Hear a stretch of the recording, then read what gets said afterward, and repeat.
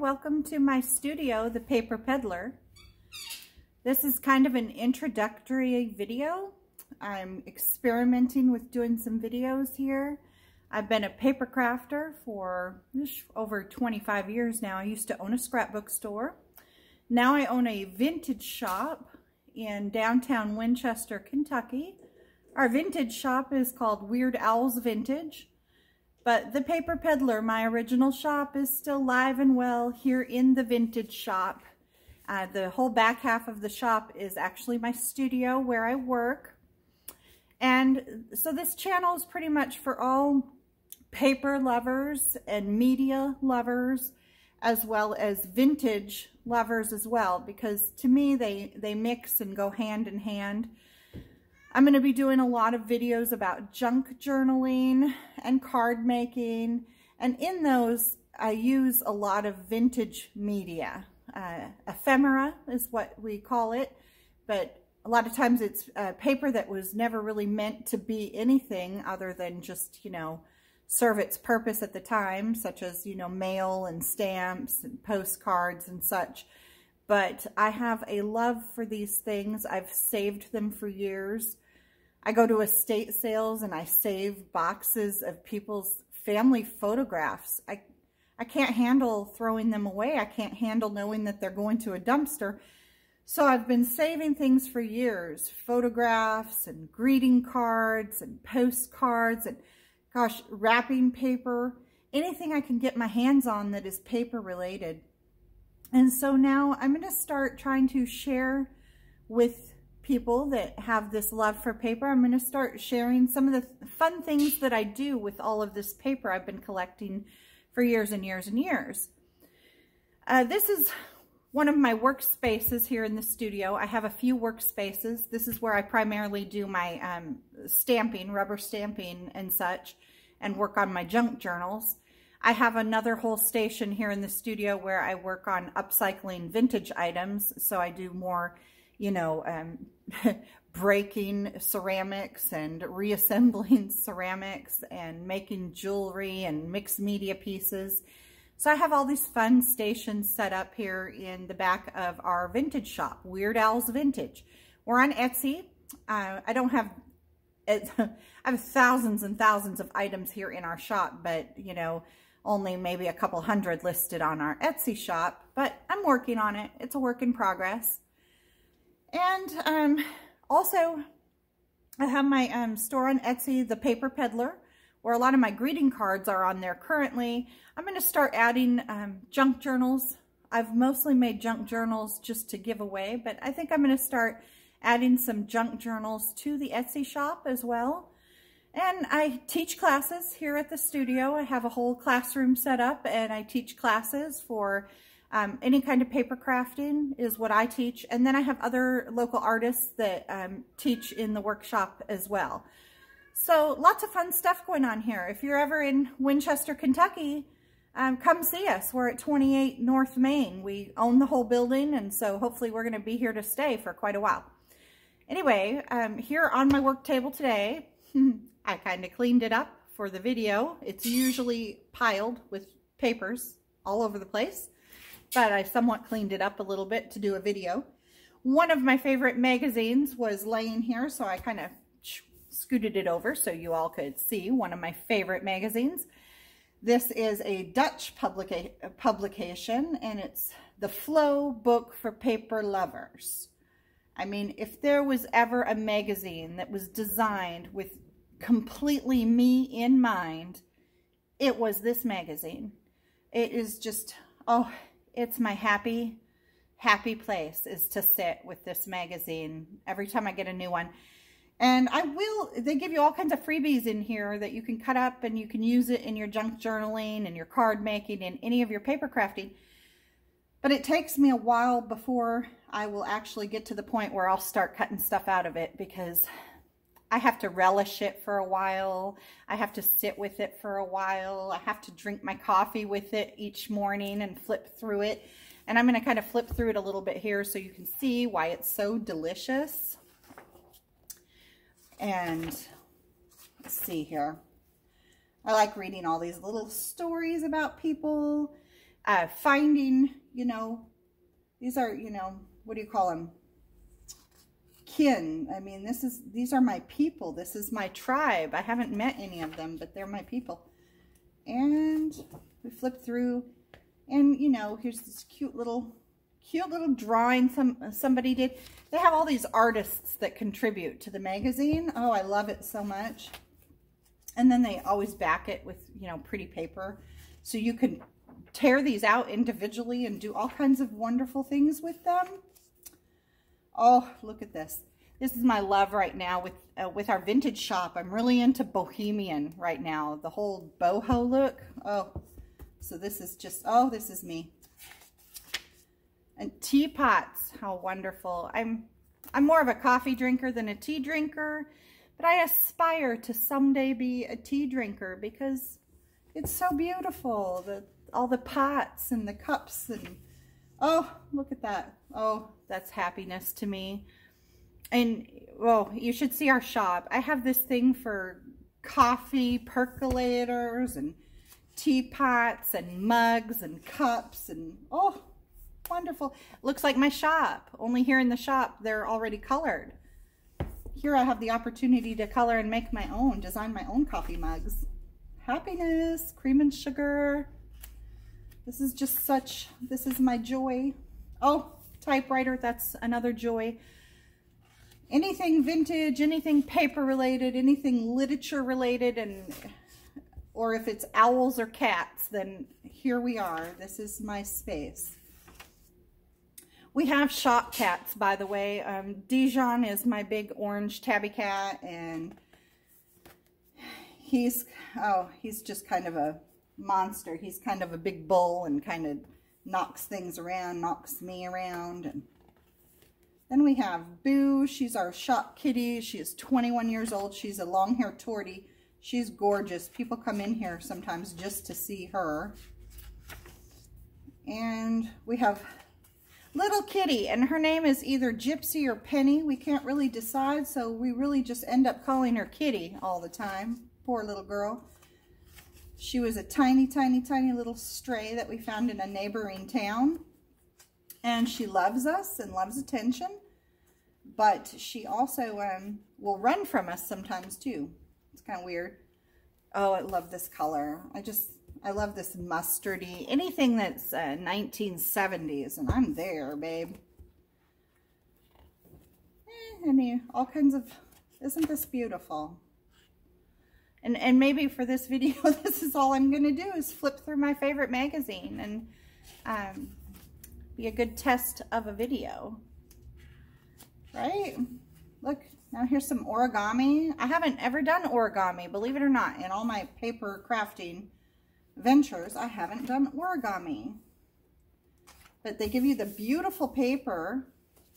And then on the back side, of course, was the diagram. And they tell you how to fold it. And maybe one of these days I'll practice one of these. So what a nice little treat. That one's interesting. Oh, and I like this with the koi, the Japanese koi here. Birds, love all birds. You can't really tell what that is, but it's little teeny tiny birdies. Have a thing for those too. Love these. I love anything kind of folk art also, you know. Folk art, Dutch, you know, Dutch art. I don't know. Is that a thing? I'm part Dutch. Maybe that's why I'm attracted to it. Anyway, there's all kinds of goodies here. Then there's a whole section here for journaling, which I do my own, you know, junk journals, which are super fun. But um, I will start cutting things out of the magazines eventually. I did it with, um, there's that magazine.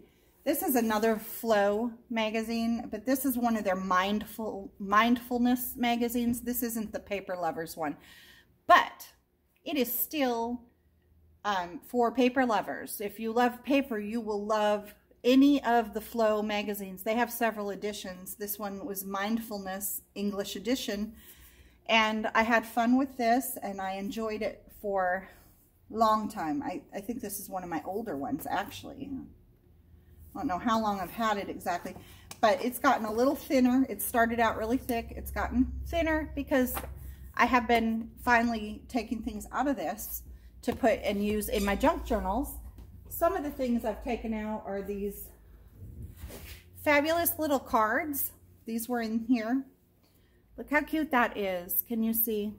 It says, enjoy the magic. And look at the little owl. Isn't he sweet? And then on the back of each of these, uh, you can journal and stuff. And anyway, they're just so cute. I add these to, uh, to my journals. Laughter is the sun that drives winter from the human face. Victor Hug. Oh, Victor Hugo. That's the, uh, that's whose, whose quote this is. Okay. Gotta look at things a little closer. But anyway, isn't it so sweet? Thoughts aren't facts, so don't take them so seriously. Don't take them seriously. That's a good little reminder there. And I love these because they're nice little reminders of happy things. A good life is when you smile often, dream big, laugh a lot, and realize how blessed you are for what you have. How true is that, right? Never, never, never give up. And of course, that's Winston Churchill. I've heard that so many times. This is, this really speaks to me. Do you, do what feels good. Just kind of simple. And I like that. I, that's just a good one. And how sweet is this? Here's another cute little teapot. Treat yourself as you would treat a good friend. That's sweet. Oh my gosh. This is something that my Grandma Hattie said all the time. I mean, it's probably her most quoted thing ever. My granny, um, grandmother Hattie, she passed away at 100 years old. She lived a good life. And part of that, I think, is because she she saw the world, as we always said, um, Hattie sees the world through rose-colored glasses. And she did. She saw always the positive in everything. And this is what she would always say on the worst of days. She would say, and this too shall pass. And it's a good reminder for us all, right? Anyway, like I said, this is like my first video. I did one other little video once um, about my stars that I make here in the studio. And that's on my YouTube channel, but I'm very new to this, just starting out. This is sort of just an introductory video. Um, sorry guys, I don't spend money on my on my hands and I should if I'm going to be doing videos. But, you know, that's $30 that I could spend on paper craft goodies. So So I don't do it. I'm sorry. These are the hands of an artist, okay? Um, this is sweet. Being somewhere is more important than getting somewhere. That's a good reminder for all of us. Being somewhere is more important than getting somewhere. Just, you know, spending more time being. And that's what this Flow magazine, the mindfulness was about. It was about learning to, um, to be somewhere Instead of always thinking about the next day or, or the last day, um, spending time just being where you are right now. And I have to remind myself of that quite often. And I have to practice that quite often. And I'm trying to meditate more, you know, I'm trying to consciously be aware of where I am more. So anyway, um, good little reminder. So we're going to call this little video here kind of my introductory video where I'm just kind of jabbering on and on here in my studio and talking about Flow magazine. Hey, Flow, you should send me a new magazine. You know, I'll keep I'll keep saying I'll keep promoting you always anyway because I love you no matter what. so anyway, um, I think I might try another video today. I have some happy mail to open up. And I think I might do a video of that Happy, Ma Happy Mail. I haven't even opened it yet. It's sitting here. Woo. And I can't wait to get into it, but I think I'm going to do that as another video because I need the practice on doing the videos. And I decided, I, I watch so many YouTube videos all the time. I mean, usually if I'm not, well, I'm always down here creating and um, oftentimes if I'm not listening to music, I just turn the big TV onto YouTube and, and pick, pick a subject. Like yesterday it was junk journaling and I just kind of let YouTube do its thing and it keeps showing me videos of junk journaling. And I'll be honest, I've decided the style I like most is when it's just somebody working in the studio and just kind of being real and showing you what's what and what they got and talking about what's on their mind while they're just showing you beautiful things. And um, I kind of like that style more than I do the really instructional and the ones where you get into the nitty gritty and, and you're showing people, you know, okay, this is two and a half inches by five and three quarters inches and and then I put it on to, you know, this so many inches and so many inches. And, oh, I just, I don't like all that work. um, my art is really, um, it's very intuitive. It's very flowy. Um, the work I do kind of just flows. It's kind of what just happens when I sit down and I work. And I have classes and I teach classes and I hold workshops here in my studio, but I rather enjoy just the kind of, um, the mindfulness, there's another word, the mindfulness of just kind of being here. And I kind of enjoy watching other people doing that, just working in their studios, just kind of being and doing what they do and kind of showing all their goodies and, and showing the fun. But I, I like it less when it's very instructional. So I think I'm going to keep my videos like this, just kind of light and happy and show you fun and cute things. And plus I think I'm kind of ADD. I think that my whole life I've been sort of ADD here. So if you looked around my studio, you'd be like, she's also like kind of a hoarder. Um, I'd like to show you around the studio more, but I'll probably um, do that in another video too. But um, right here up in front of me is a whole shelf that is just kind of my happy shelf because I like when I'm sitting here and working, um, I like to be able to look up at the happy stuff and, and um, it inspires me, you know, and, and it could be random things up here. Like one of my favorite is this frog ceramic that I found. And I think he's supposed to, you know, hold, you know, your your sponge by the sink, by the kitchen sink. Somebody hand painted it. And I can't tell what their name is. Um, it's probably from like the 60s or the 70s, you know. But isn't he cute with a mouthful of crayons? I just love him. I don't have the heart to get rid of him, so he just kind of sits up here in front of me on the studio shelf holding a mouthful of crayons. And I have all kinds of goodies like that. Like the other day I was out um, treasure hunting is what my husband and I call it. And, and my husband found this cutesy little pig. What a cute little guy. Isn't he cute? He's a salt or pepper shaker, which whichever. But we never found his partner. Just this one little pig. And I couldn't leave him. I had to bring him home. He's so cute. Pigs aren't typically what I collect, but hey, he was adorable. So, you know, this little salt or pepper shaker, whatever, he sits here and makes me happy too. Here's another um, salt or pepper shaker that I have that um, we only found one of. And she is precious, precious too. This little I don't, I guess she's, well, I thought she was a squirrel, but maybe she's a chipmunk because look at the little tail here.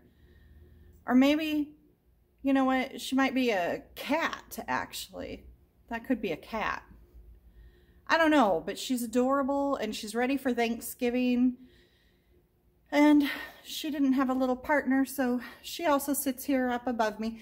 And so it's a mix of happy little things like this and a bunch of rubber stamps. most of my quote rubber stamps that have just inspiring quotes like, you know, you can't ground me, I'm the princess. You know, that one's up here.